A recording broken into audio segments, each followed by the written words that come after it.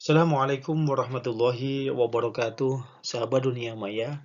Pada kesempatan ini, kita akan belajar bersama-sama terkait dengan tema baru, yakni terkait dengan entrepreneur atau kewirausahaan. Yang pada pertemuan ini kita akan mengupas dan juga berdiskusi bersama-sama terkait dengan tema membangun jiwa wirausaha. Ini dikhususkan kepada kawan-kawan yang pada kesempatan ini menjadi mahasiswa. Kenapa kita sering menjumpai pengangguran intelektual, di mana para sarjana-sarjana tidak tercover dalam dunia pekerjaan. Kenapa seperti ini? Karena rata-rata dalam teori itu dikenal dengan istilah apa ya, sanglaritas. Apa sih sanglaritas itu?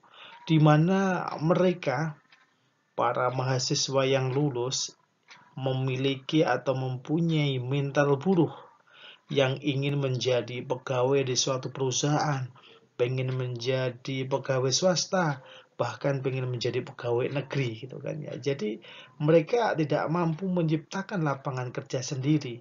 Kecenderungannya adalah ikut orang lain. Maka dari itu pada kesempatan ini kita akan mengupas terkait dengan membangun jiwa kewirausahaan uh, di tengah-tengah mahasiswa.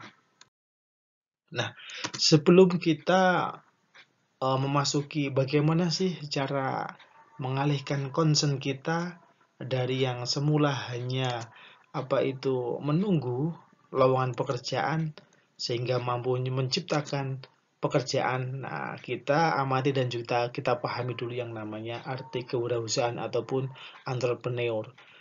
Wirausaha itu berasal dari dua kata wira dan juga usaha. Berani usaha yakni upaya untuk memberdayakan sesuatu kegiatan kalau kita mendefinisikan secara utuh yakni suatu proses kegiatan yang memerlukan keberanian untuk memberdayakan potensi usaha yang dimiliki agar menghasilkan sesuatu yang menguntungkan. Ini bisa dikatakan definisi yang bersifat normatif gitu kan. Coba kita cek definisi uh, para ahli gitu kan ya atau mungkin para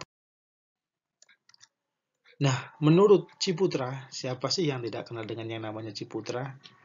Uh, sahabat-sahabat, teman-teman semuanya bisa klik di Google atau di YouTube Ciputra gitu kan ya. Dalam filosofinya, beliau mengutarakan bahwasanya yang namanya seorang entrepreneur atau kewirausahaan, yakni seseorang yang mampu merubah kotoran uh, dan rongsokan menjadi sebuah emas. Jadi ini mindset seseorang bagaimana menciptakan sesuatu yang sebelumnya tidak bernilai menjadi sesuatu yang berguna, bermanfaat, dan juga mempunyai nilai lebih. Uh, sedangkan Suryana, beliau mendefinisikan uh, kewirausahaan adalah orang yang selalu kreatif dan inovatif dalam setiap momen. Ini passwordnya adalah lakukan apa yang orang lain tidak lakukan kalau sekarang ini namanya adalah viral gitu kan yang melakukan sesuatu yang tidak lazim gitu kan.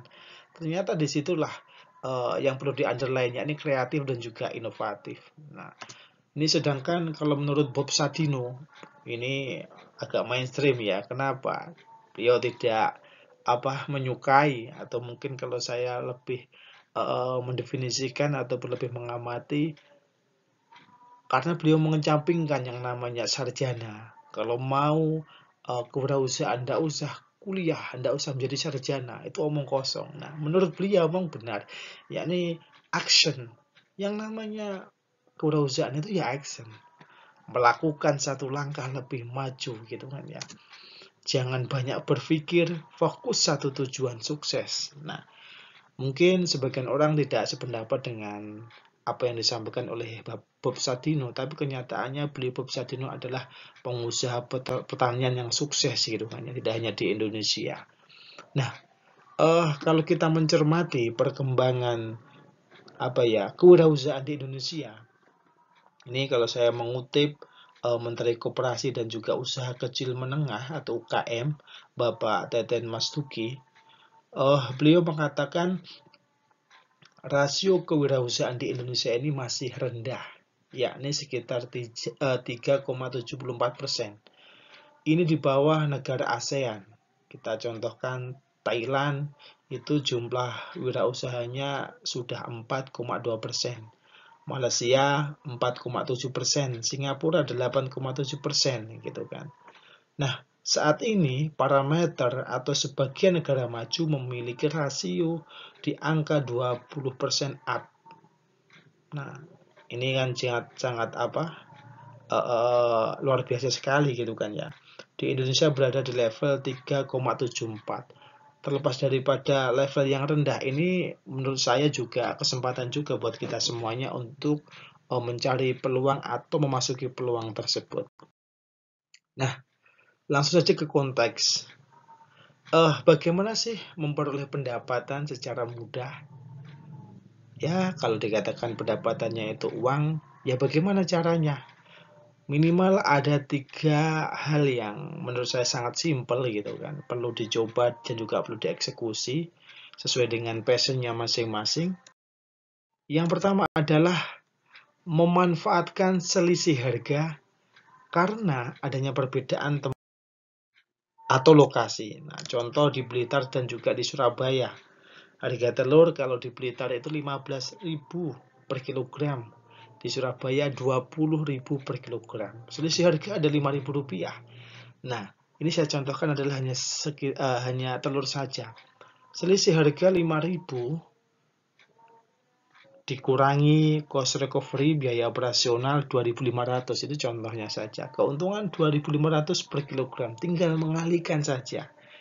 Nah, di Tulungagung ke Malang, di Tulung Agung ke Surabaya, Nah, mungkin dari sektor apa UMKM, makanan ringan, bahkan souvenir itu juga bisa dicoba. Yakni apa? Memanfaatkan selisih harga karena adanya perbedaan tempat ataupun lokasi. Maka tidak heran jika para reseller itu mengambil dari jarak yang berbeda. Ya salah satunya adalah ada selisih harga. Nah itu adalah salah satu hal untuk mencari ke keuntungan. Nah, ada juga karena perbedaan periode atau waktu. Nah, ini biasanya juga kita bisa membeli dengan konsep aset itu kan ya, investasi tanah itu kan ya. Ada lagi barang-barang yang dijual atau yang dibeli pada saat ini dan nanti akan kita jual di momen-momen spesial, di momen-momen lebaran, hari Natal, tahun baru dan Idul Adha gitu kan ya. Ambilnya tahun 2021 kemarin. Nah, kita jual di tahun 2022.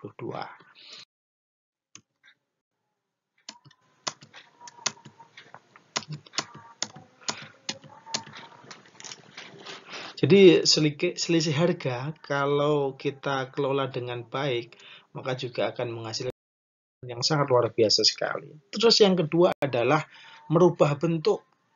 Nah, yang dimaksud merubah bentuk itu bagaimana sih? Merubah bentuk di sini contohnya kayu, kalau kita jual gelondongan ya udah per kubik berapa. Cuma kalau kita rubah menjadi nilai uh, plus menambah nilai. Contohnya kita buat sebagai mebel air uh, meja almari. Maka kalau satu gelondong itu harganya 100.000 atau 200.000 ini nanti bisa menjadi eh, satu uh, juta ataupun 2 juta. Ketela kalau kita masak kita godok ya udah akan menjadi makanan seperti itu. Tapi kalau kita uh, apa olah dengan olahan yang lain Nah, kita potong tipis-tipis, kita goreng, kita packaging yang baik akan menjadi keripik ketela yang spesial. Harganya yang semula cuma per kilo 2.500 contohnya ini bisa menjadi 15.000, menjadi 35.000, bahkan lebih gitu kan ya. Itu contoh saja, yakni merubah bentuk. Uh, yang menjual jasa ini berbasis skill gitu kan ya. Uh, Kenapa saya bilang berbasis skill gitu kan ya? Tadi saya bilang kayu menjadi mebel air gitu kan ya. Ada lagi keterampilan yang lain yang sangat sederhana, yakni menjual jasa terkait dengan setrika, cuci baju dan lain sebagainya, jasa laundry dan juga jasa uh, pijat, bas, jasa potong rambut, jasa pengetikan, jasa rental, jasa guide dan seterusnya. Itu adalah contoh-contoh bagaimana kita bisa mendapatkan keuntungan yang sangat sederhana dengan jalan yang sederhana dan menjanjikan. Maka dari itu, ini adalah mukotimah yang saya sampaikan terkait dengan bagaimana kita mampu mendapatkan hasil, mendapatkan income, mendapatkan pendapatan di sela-sela rutinitas kita menjalani perkuliahan.